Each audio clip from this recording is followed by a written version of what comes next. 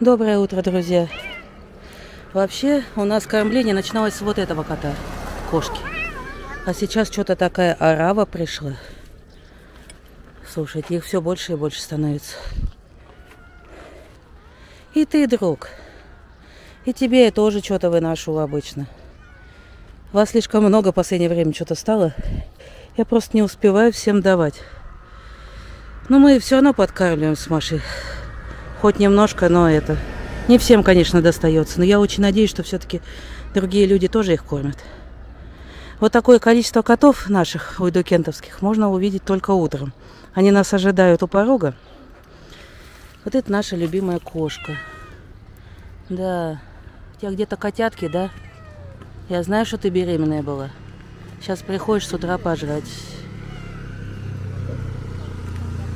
Да, Маш, это наш кот. Дерутся. Ну, что поделаешь. И этот товарищ. Он очень дружелюбный, хотя он очень большой. Он хвостом машет. Мы ему остатки еды выносим. Ну что ты маленькая. Маша ее очень любит. К сожалению, к себе не можем взять. Я уже говорила, у Маши аллергия на котов. Мы были взяли с улицы кота, у нее такая дикая аллергия. Так, а ты подралась, подруга? Ты подралась, подруга? Чего тебе тут клещ, что ли, сидит? Эх, клещей ты цепляешь. Потом я тебя поймаю, мне сейчас некогда. Обработаю тебя. Эти вон тоже заглядывают. Ну ладно, друзья, пошла я на базар. Смотрите, как у нас много зелени. Круто, по-моему. Я, конечно, посмотрю кое-какие цветочки, но только те, которые выживают. Через месяц уже в Россию ехать. Смотрите, какая прелесть. Это жасмин.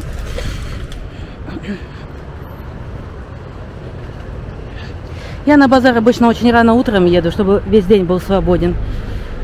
Не все, конечно, распаковались, но обычно я все нахожу. Рассаду много продают. Пойдемте сначала посмотрим, а потом, в общем, это это. Черешня появилась по 100 лир на входе. Дальше посмотрим. Я непременно куплю фасоль и горох. В последнее время не могу есть мясо. Догоняюсь, короче, растительным протеином.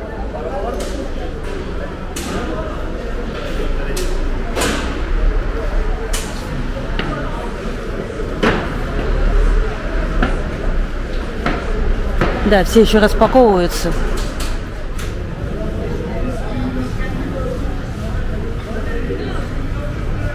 Слабенько пока.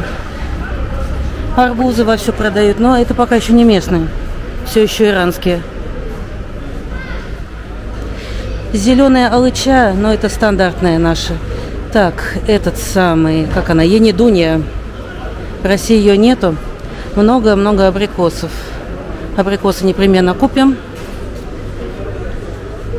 Черешни не слишком много. Пока еще не сильно красные, как вижу. Местные бананы появились.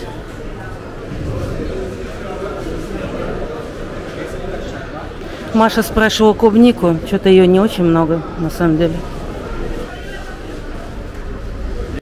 Итак, э, черешня по 60, по 100. Ну, между этими понятиями.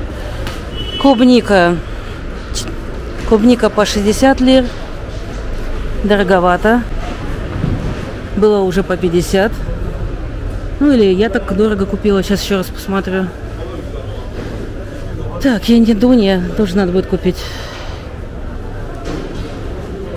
Пока цены еще что-то не разложили. Посмотрим.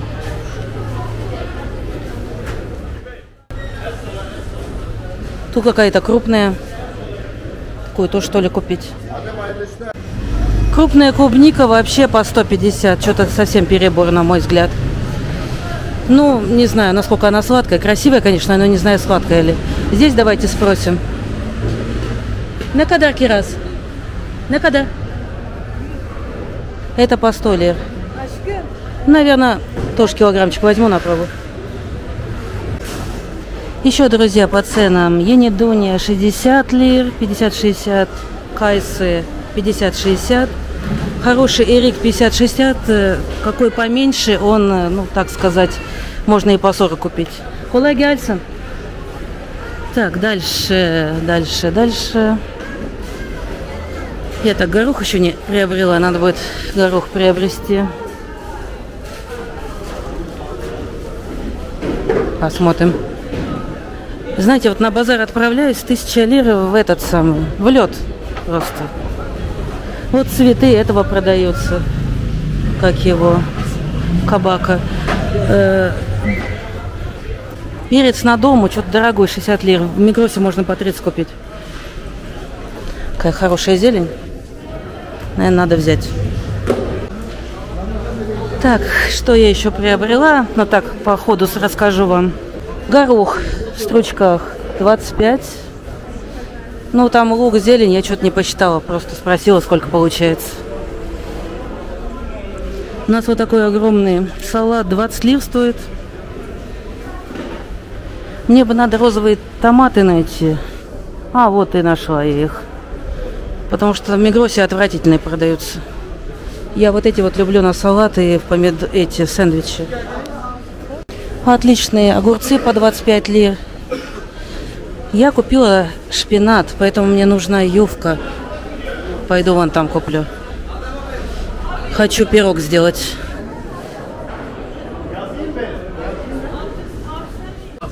Сейчас цены на свежую ювку. Одна штука 10 лир. Вот, я 6 штук купила. Очень классные здесь ришты.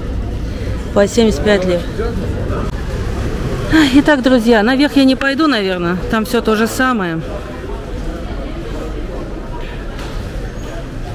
Помидоры вон вообще по, по 12 почему-то. Но это это, на готовку. По 20 можно купить. Я купила розовые по 30. Я, как говорила, это на сэндвичи и на салат. А так все примерно одинаковое. Черешня появилась, нектарины появились тоже от 60 до 100 лир. Сейчас пойду, короче говоря, яйца еще куплю. Яйца, как говорят турки, чоканамли. Потому что мне нужно будет этот самый. Как-то восполнять свой протеин. Я не могу мясо что-то в последнее время есть. Переела называется. А, кстати говоря, эти отошли. Как они? Чала отошла. Зеленая. Зеленый миндаль. Не вижу вообще. Быстро отходит. Черешня только появилась, она будет дешевле. Ну ладно, пойдемте купим яйца, посмотрим цветы. Если мне денег, конечно, хватит. Так, я тут уже была. А, забыла вам сказать эти самые арбузы, но они еще не местные, по 25 за килограмм. В принципе, по 36 в этом в Аюсбире на доставке, в Мегросе примерно так же. Но они невкусные. Раз на раз не приходится. Лучше подождем свои. Покупаю, как обычно, яйца вот эти вот. 15 штук, 60 лир. Они очень большие, хорошие. Так вот. В общем, едем домой. Тоже будем работой заниматься. Я задержала анонимные истории, как обычно.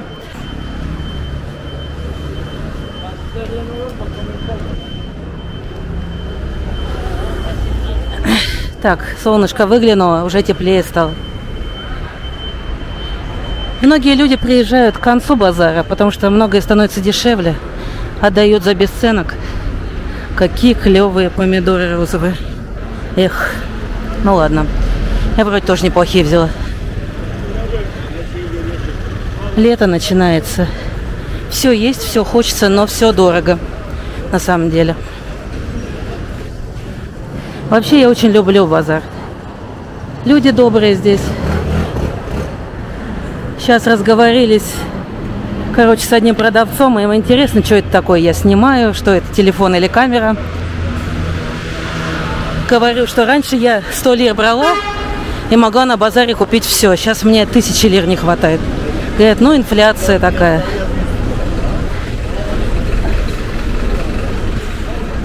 Пойдемте домой пироги готовить.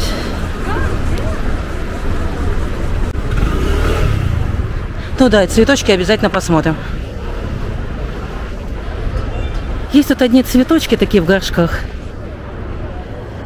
Я их и забывала и поливать, и переливала водой, и не доливала. Они у меня выживают. Вот хочу такие же еще одни купить. Я тут у одних людей все время покупаю, а у них сегодня нету таких цветочков, какие мне нужны. Здесь видите, как все сложно. Вон там вроде в Саксо есть, посмотрим сейчас. Вот такие подвесные горшочки. Сейчас, если найду. Так. Я их по листикам отличаю. Ну вот, друзья мои, с базара я купила вот этого красавца за 150 лир, недорого. В общем-то, он очень много требует воды, красивый, поднялся прямо. Я, наверное, до уезда или ничего покупать не буду, или буду покупать то, что вот хорошо себя чувствует. Вот этот цветок у меня когда-то куплен был, когда? Почти два года назад. Он разросся, переносит холод, переносит то, что я забываю иногда его полить или заливаю. То есть вот такие цветы мне нужны. Гибикус у меня красиво зацвел. Первый раз у меня тля его не съела. Как-то не дошла до него тля. И много-много цветочков сразу дает. Погода у нас фиговая все еще. Морюшка не прогрелась. Ну, живем, ждем тепла. Вообще, друзья мои, живем, радуемся жизни, насколько возможно. Цены у нас очень аховые в последнее время. Промежуточного подъема зарплаты не ожидается, но вроде как говорят, что сейчас минимальная зарплата ниже, чем уровень нищеты. Например, на 4 человека семью, мама, папа и двое детей, минимальный уровень выживания, так скажем, 20 тысяч лир, а минимальная зарплата это 17 тысяч лир. То есть, если один папа на минималку работает, то семья нищенствует. Ну, несколько лет, скажем так, назад.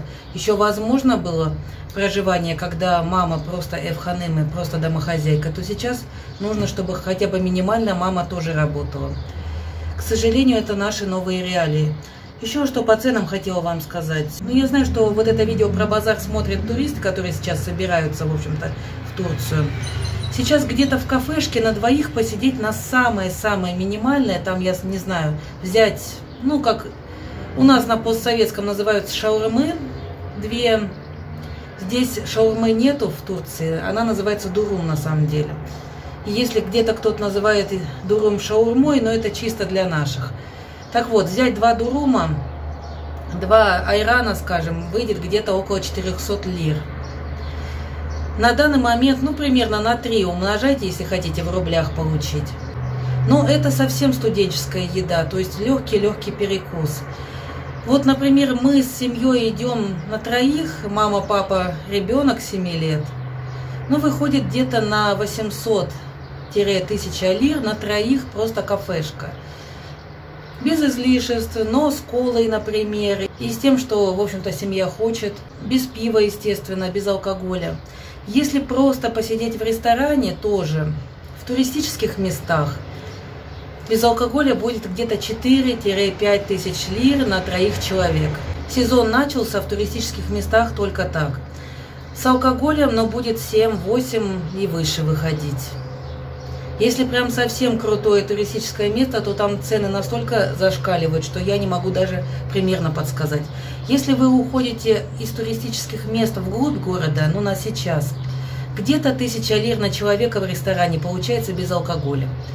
То есть примерно так рассчитываете. У нас по Кушадосы проезд все еще стоит 14,5 лир.